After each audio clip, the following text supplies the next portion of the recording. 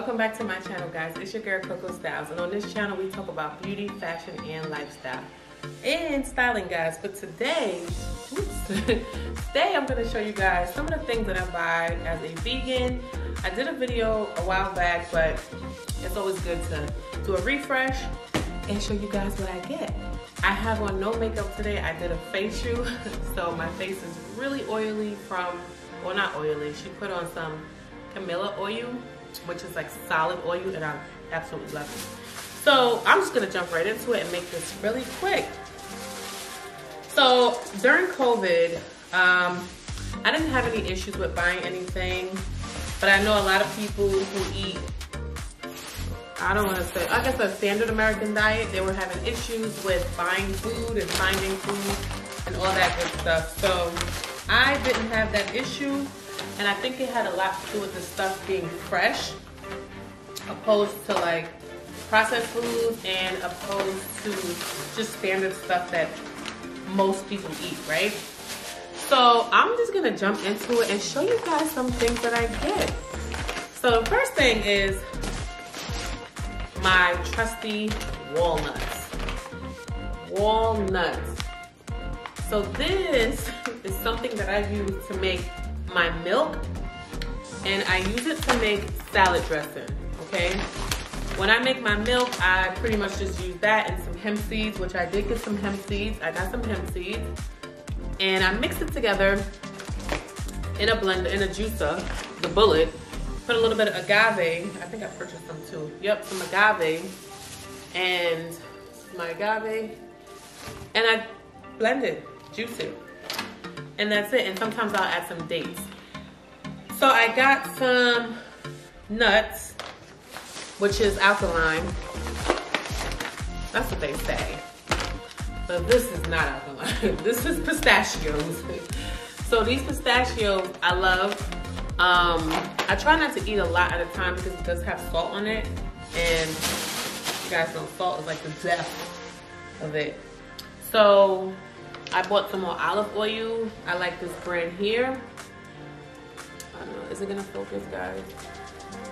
Uh, I don't know if it's gonna focus. I don't know. You guys know I'm struggling with this. And then I got some sesame seed oil, which I totally love too. Um, it never focuses for me because I think it's focusing on me. Sorry, guys. So those are the two oils that I get besides the grapeseed oil. Um, I got some seeded watermelon. I just got a slice. Now, I am a little against buying sliced watermelon. And the reason why is I've seen an article where they say once it's cut, the alkaline level changes. Um, and then we don't know what kind of knives they're using in there, right? But they didn't have any big ones, any whole ones. And then I got a cantaloupe.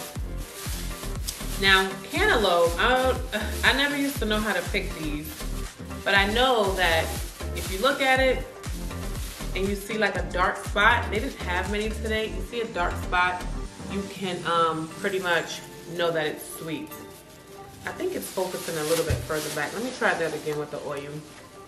Yeah, so that's the oil. And then this is the olive oil. That's the sesame seed oil. So then I get some raisins. These are organic dried red raisins. I never used to love raisins, but I have taken a liking to them as a vegan. And I usually make like my own trail mixed with the, the walnuts and stuff. Um, here's my two cheeks. They have some plantain chips and they have these with sesame seeds. I just like them. So these are just like sesame blue chips, blues, and then some salted plantains. So also, let me just grab some of the stuff from over here. So my shirt keeps falling down because this jacket is very uncomfortable. My kale. Now, when it comes to my kale, guys, I usually buy three head, three heads of kale. Um, and I usually get the organic one. And the reason why is because, I don't know, sometimes the non-organic one, I get three of these. Uh, sometimes the non-organic one, just, it looks a little funny sometimes. I'm not even gonna lie. So there's two in here. So I get three heads. And then what I do with them is I actually clean them off, right? And I chop it up and I put some olive oil on it and I put it in glass containers. That keeps them fresh inside of the glass container. Um, and I eat it throughout the week, probably within the first couple of few days out the week. Um, I'm making a salad or I'm making like a, a quinoa bowl with some kale on it. And here's my strawberries. I get everything organic, guys. I try to. Um, I'll tell you this. Some people say, ah, it doesn't matter if it's organic or not. Two things that I saw that was a little alarming to me. and I got a butternut squash. I finally know how to cook this. So the first thing is bananas, okay? I purchased, I used to buy conventional bananas all the time. Um, and I would see like people talk about bananas. This particular day, I didn't feel like driving to my other mart to get my baby bananas or my burro bananas. And I just got the standard ones that were organic. That's what they said. When I bit into this banana, it just seemed very, I don't know, it just had like a weird texture to it, right? And I said, you know what? I'm just not gonna buy it anymore. I'm just gonna just drive to where I get my baby bananas from. And here's some ginger. I got a bag of ginger. I'm gonna make some ginger juice. Maybe I'll put that in the video. Um, what else? So I got my ginger. Here are my my trusty burro bananas, guys. You guys know burro bananas are the original bananas, right? I love it. Like came straight off the tree. and with these, there's a couple of ways you can eat them. Let me just put it over here, guys. There's a couple of ways you could actually eat those. You can eat them like plantains, right? Or you can wait till they're really, really ripe. You can have them like green bananas, then you can have them like sweet bananas, and then you can have them like an actual banana. So the longer you wait for them to ripe, you know, depends on, you know, how you want it. Um, so here's my other cheat. Cause I don't do it often, but I just felt like I wanted it. This vegan butter, which I know is not good for you guys. Um, this is the soy-free one. And then some vegan cheese. I just feel like making a fake Philly cheesesteak tonight, and I'm gonna do it. So this is Daiya, and this is the mozzarella style blend, um, and then some vegan cheese. If you are alkaline vegan, we, you're not supposed to have this. just know that. Um, then I got, I'm sorry if I keep pulling my shirt because the jacket is like irritating my neck for some reason. I got some green peppers. Um, I love my green peppers. I clean these off and then I um, put them inside this container that I have. I have, what did I get? A red pepper and a orange. Got an orange one today. It doesn't look orange on camera. It looks yellow on camera, but it's definitely orange. um, I got some avocados. Okay. Got some avocados. And I usually buy my avocados when they're extremely not ready. Okay? Uh, I like to give myself a couple of days. And then I got some apples. These. Oh my God, these are Granny Smith. I have to clean all this off. These are Granny Smith apples. Not Granny Smith. Oh my God, Granny Smith is the green ones. These are, um, oh my God. Oh, Honeycrisp.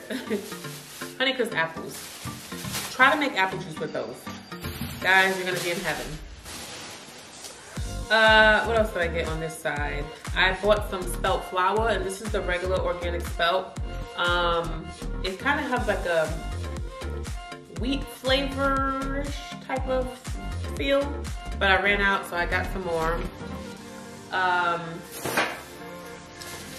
so I went to two different marts. So the burro bananas, the butter, the cheese, and this. this looks good on the back. What is this? Oh, I can probably try to make this. This is uh, some kamut noodles. I really love this. So now guys, if you eat regular pasta um, and you just notice that your body feel like full and stuff, you can try the kamut. So I got some spirals so I can make like a little salad. Maybe I'll make a cold salad too. And then I also got the noodle version of it. I like this too. Um, then, I got a lot of stuff, guys. Well, it's not a lot for the average person, but I eat fresh stuff. And guys, let me tell you how hard it is to find seeded grapes. This particular market that I go to, they always have them. They have a row of not seedless grapes, and then they got this one little column with these babies. So I get those. Um, they're pretty good too. And let's slide this over here. Okay. And here goes my meat, I guess I would say my meat. this is my mushrooms. And this is called beech, beech mushroom. Can you guys see that? Hope you guys can see. Okay. So I get two of these. And then I also get this is the hen of the wood mushroom. Hen of the wood. This is what I use to make my Philly cheesesteak. It tastes like Philly cheesesteak, guys. to me, it does. And I usually buy like three of those. Um, I don't eat mushrooms every day, but you know.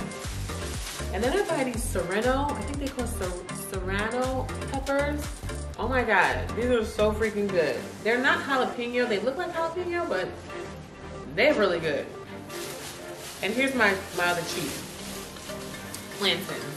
So plantains, they say are not the original, that's why you eat the burro bananas, but I just feel like Sometimes I just want these. They taste, they have a different texture, um, of course. Uh, but, so sometimes I buy this just because I'm being greedy. So I bought three of those, the green bananas. And also, I'm not supposed to have red potatoes, little baby ones. But this week I feel like making like some mashed potatoes. And I know you guys are probably like, well, why did you buy the baby ones? because um, they don't have organic in the big red ones at my mart, so I just always opt for these. Then, let's see. Sorry for the bag rumbling. Um, okay. Now this, these are my baby bananas. They're green because I they're not ready yet, but I just like to get them. And they come like this, okay?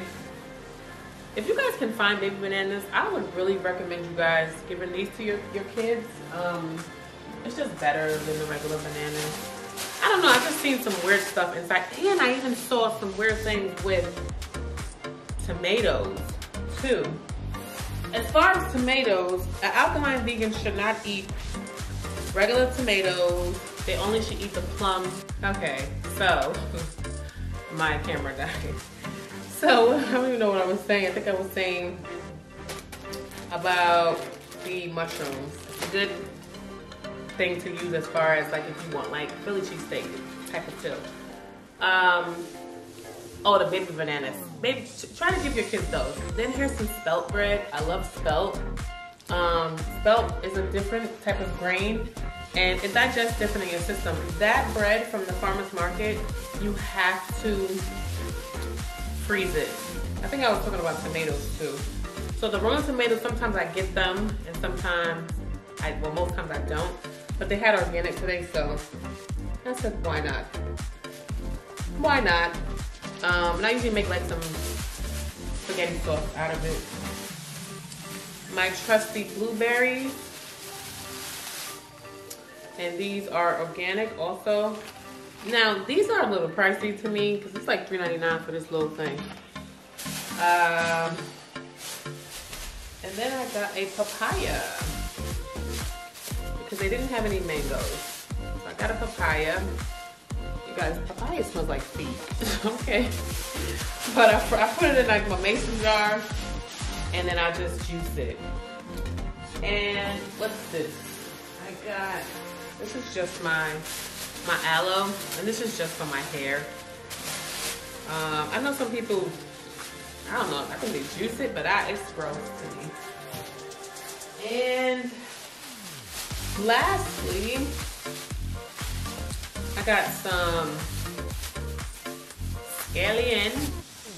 Okay, got some scallion, organic,